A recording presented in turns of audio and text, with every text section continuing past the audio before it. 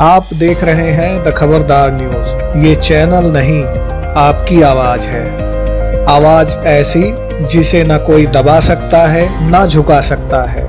हम करते हैं सबको खबरदार। दक्षिण वन मंडल शहडोल के अंतर्गत ग्राम श्यामडेह में वन विभाग के अमले ने अवैध रेत से भरा हुआ एक ट्रैक्टर जब्त किया है। मिली जानकारी के अनुसार, ग्राम श्यामडीह में एक लाल रंग का मैसी एक हज़ार पैंतीस बगैर पंजीयन का ट्रैक्टर बिना किसी दस्तावेज़ के रेत का परिवहन कर रहा था। वाहन को देवशरण बैगा, पिता शिवलाल बैगा, निवासी खैतोली चला रहा था। वाहन मालिक की पहचान डाली नायक, पिता मोती नायक, निवासी खैतोली के रूप में की गई। सूचना के आधार पर मुख्य वन संरक्षक, वन ब्रिज शहडोल लखनलाल उइके के निर्देशन में वन मंडलाधिकारी दक्षिण शहडोल श्रीमती श्रद्धा बेट्रो के मार्गदर्शन पर उड़नदस्ता के प्रभारी शिवपूजन त्रिपाठी के नेतृत्व में उक्त ट्रैक्टर को जब्त कर वन अधिनियम के तहत कार्रवाई की गई।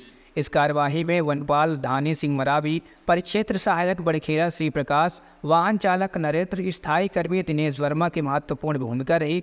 जब्त शुदा ट्रैक्टर को श्यामडी के बीट गार्ड इंद्रमणि तिवारी शिव प्रसाद मरकाम शिव प्रकाश शुक्ला के सुपुर्द कर श्यामडी वन चौकी में खड़ा कराया गया है।